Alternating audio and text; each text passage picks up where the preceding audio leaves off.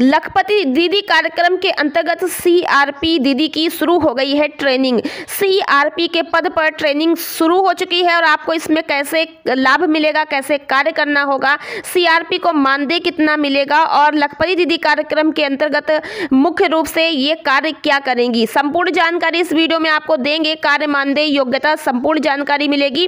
तो आपको बता दें कि सरकार के द्वारा जो आजीविका मिशन के अंतर्गत, स्वयं सहायता समूह के अंतर्गत लखपति लखपति दीदी कार्यक्रम शुरू कर दिया गया है। तीन साल का यह लखपति दीदी कार्यक्रम है, जिसके अंतर्गत समूह की दीदियों को लखपति बनाने का कार्य किया जाएगा और यह तीन करोड़ दीदियों को लखपति बनाने का लक्ष्य रखा गया है। तो सीआरपी की ट्रेनिंग लेते हुए यहाँ पर महिलाओं को आप पिक में देख रहे हैं। सीआरपी की ट्रेनिंग क्यों दी जा रही है? सीआरपी दीदी क्या कार्य करेंगी? ये सब जानकारी आप समझ लीजिए। सबसे पहले हम आपको बता दें कि जो सीआरपी दीदी यहाँ पर ट्रेनिंग शुरू हो गई, जिनकी ट्रेनिंग प्राप्त कर रही हैं तो हर ब्लॉक में समूह की दीदियों को लखपति दीदी कार्यक्रम के अंतर्गत सीआरपी की ट्रेनिंग दी जा रही है। सीआरपी के पद पर वे कार्य करेंगी गाँव गाँव में जाकर के। सीआरपी दीदी बनने के लिए आपकी योग्यता समूह में जुड़ी हुई होनी चाहिए। और अगर आपके पास समूह की अच्छी खासी जानकारी है हाई स्कूल इंटर पास है तो आप इसमें ट्रेनिंग ले सकती हैं। इसके लिए आप लोगों को अपने ब्लॉक पर संपर्क करना होगा।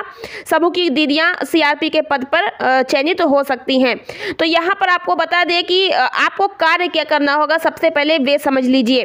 जो सीआरपी दीदी, लखपति दीदी कार्यक्रम के अंतर्गत ट्रेनिंग पा रही हैं, इन दीदियों का प्रमुख कार्य है गाँव गाँव जा करके समूहों में सर्वे करना और समूहों की दीदियों का सर्वे करना कि वे किस रोज़गार को कर रही हैं, क्या रोज़गार कर रही हैं, उनकी इनकम कितनी होती है महीने की। ठीक है? तो यहाँ पर ये सर्वे करने का कार्य इन दीदियों को दिया जा रहा है। सीआरपी दीदी को लखपति सीआरपी दीदी सर्वे करेंगी। ठीक है? तो इन सीआरपी दीदी का यही कार्य रहेगा। गाँव गाँव जाकर के समूह की दीदियों का सर्वे करना। कम से कम जो दीदियाँ समूह में जुड़ी हैं, वो कोई दो प्रकार से रोज़गार से जुड़ी होनी चाहिए। समूहों में दो प्रकार से रोज़गार होते हैं। एक तो फॉर्म अजीविका होती है दूसरे नॉन फॉर्म अजीविका होती है। एक समूह की कैडर नौकरियाँ होती हैं। कैडर नौकरियों में विद्युत सखी, बैंक सखी अजीविका सखी, पशु सखी, कृषि सखी ये बहुत सारे पद होते हैं। अलग अलग C R P I C R P I P R P कई सारे पद होते हैं। इन पदों पर भी समूह की दीदियाँ नौकरी कर रही होती हैं। प्लस बहुत सारी समूह की दीदियाँ समूह से जुड़ने के बाद लोन लिया, पैसा लिया, दुकानें खोली, किसी ने ब्यूटी पार्लर की दुकान खोली, किसी ने गिट्टी मोरंग की दुकान खोल। ली किसी ने सिलाई की दुकान खोली, ऐसे अलग अलग तरीके से रोज़गार कर लेती हैं।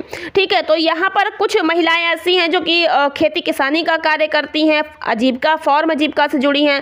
तो फॉर्म अजीविका होती है खेती किसानी से जुड़े हुए कार्य और नॉन फॉर्म अजीविका होती है जो दुकान खोलना किसी प्रकार की है। जैसे परचून की दुकान हो गई और उपकरण की दुकान हो गई, ब्यूटी पार्लर हो गया, ठीक है, कोई प्रकार की दुकान अगर आप खोल लेते हैं तो वो होती है नॉन फॉर्म अजीविका जिसमें खेती किसानी पशुपालन नहीं करना होता है।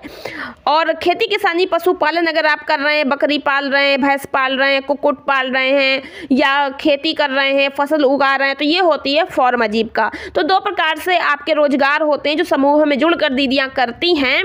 तो इस प्रकार से इन दीदियों की आमदनी कितनी हो रही है? तो देखा जाएगा कि कोई भी समूह की दीदी दो प्रकार के रोज़गार से जुड़ी होनी चाहिए। अगर वो कैडर के पद पर कार्य कर रही है, मान लीजिए वो एक पशु सखी है तो पशु सखी है तो वो खुद भी तो कुकुट बकरी और पशुपालन करती होगी। तो जो उसने पशुपालन कर रखा है या खेती कर रही है, और प्लस वो पशु सखी भी बनी हुई है तो इन दोनों से उसकी आमदनी कितनी हो रही है? क्योंकि कोई भी दीदी को अगर लखपति बनाना है तो तीन साल के अंदर अगर वो लखपति बन जाए, यानी एक साल में उसकी कम से कम एक लाख रुपए इनकम होने लगे तो ऐसे में उसको जो है दोनों प्रकार से आजीविका करेगी, तब जा करके वो इतना पैसा कमा पाएगी। तो इसलिए महिलाओं को जो है रोज़गार से जोड़ना और रोज़गार से उनकी क्या इनकम हो रही इसका सर्वे करना, इसकी रिपोर्ट तैयार करना।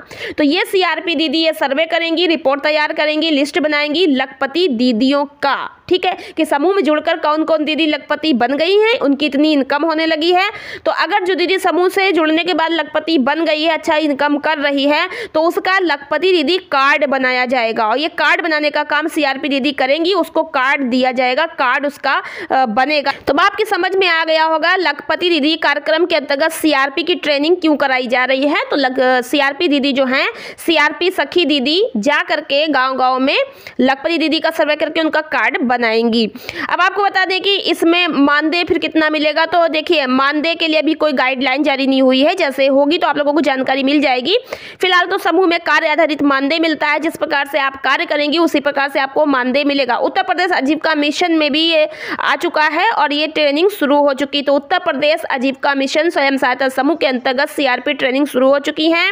और यह सीआरपी ट्रेनिंग के पद पर अगर आपको कार्य करना है तो उसकी जानकारी आपको अपने ब्लॉग पर जाके एनआरएलएम ऑफ़िस में संपूर्ण जानकारी कर लेनी है, ताकि आपको विधिवत वहाँ से जानकारी मिल जाए और आप इसमें अगर कार्य करने की इच्छुक है तो आपको कार्य करने को मिले। ठीक है, ट्रेनिंग मिल पाए, आवेदन कर सके। ठीक है, वहाँ से पूरी जानकारी लीजिएगा और मानदेय इसमें कुछ ना कुछ ज़रूर मिलेगा। जल्दी गाइडलाइन आ जाएगी, ताकि आप लोगों को इसके मानदेय के बारे में भी जानकारी दे दी जाएगी। अब लखपति दीदी कार्यक्रम, जो लक्ष्य सरकार ने तीन करोड़ महिलाओं का रखा है, इसमें कैसे लाभ सरकार देगी? कौन दीदी लखपति दीदी में आवेदन कर पाएँगी? लखपति दीदी में लाभ क्या मिलता है सरकार की तरफ़ से और आप लखपति दीदी की श्रेणी में कैसे आएँगी, इसके लिए हम अगली वीडियो लेकर के आएँगे। चैनल को आप लोग सब्सक्राइब नहीं किया, कर लीजिएगा। Second channel S H G voice उसको भी सब्सक्राइब कर लीजिएगा ताकि आपको हर जगह से अपडेट मिलती रहे। तो आज की वीडियो में इतना ही। आशा करते इस वीडियो के माध्यम से आपको पूरी जानकारी समझ आई होगी। अगली वीडियो देखें ताकि आपको आगे भी और जानकारी मिल जाए। तो मिलते हैं नेक्स्ट वीडियो में। आज की वीडियो में इतना ही। वीडियो पसंद आई तो लाइक और शेयर कर दीजिएगा। चैनल पर पहली बार आए या अभी तक सब्सक्राइब नहीं किया, करके जाइएगा। आज की वीडियो में इतना ही। धन्यवाद।